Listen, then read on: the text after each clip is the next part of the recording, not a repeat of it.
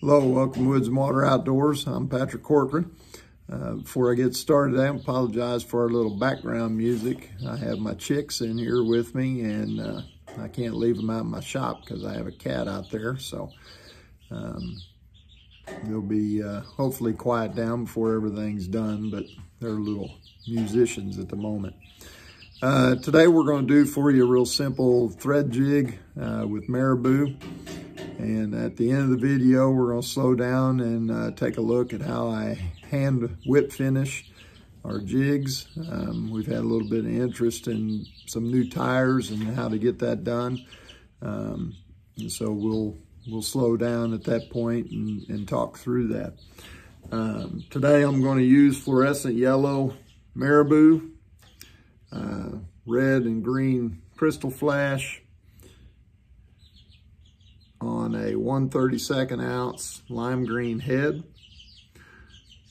I combine those two flashes in there, uh, the red to match the thread body, and then the green to match the head as far as having flash goes.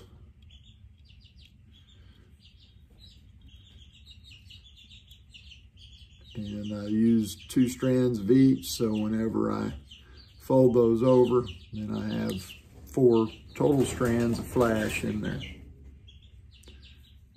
I told you those chicks are going to be a little crazy.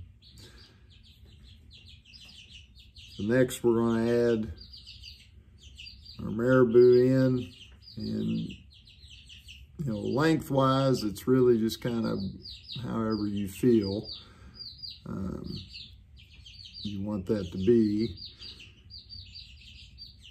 usually about twice the length of the hook.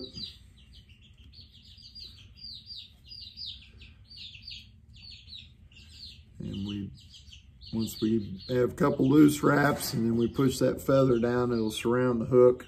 And then you can tighten it down after that. Cut off your excess.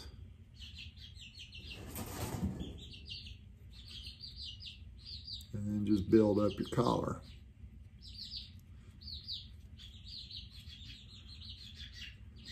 These jigs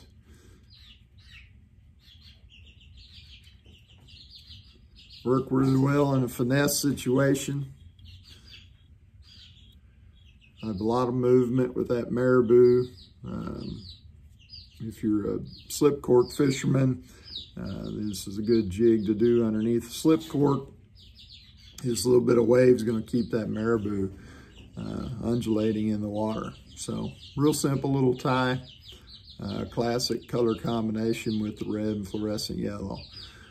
And so now with the whip finish, what you want to do is you're going to pull out a little bit of extra line string and you're going to take your index finger and your middle finger and put them together and come underneath your thread like this right here. Then you're gonna roll the thread to create this box. So you have that little X right there, okay? So you're gonna pull that X up to the base of the head and you wanna put the head through the hole. And when you do that, you're gonna bring your middle finger back underneath your index finger and drop them down.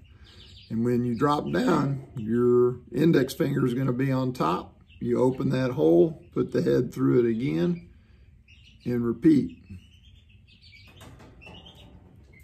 Just like so, okay? Open that hole, index finger on top, drop, okay? So now whenever you want to pull that down tight, remove the middle finger, start drawing it down. You can place your index finger right here on the head until the string pulls tight.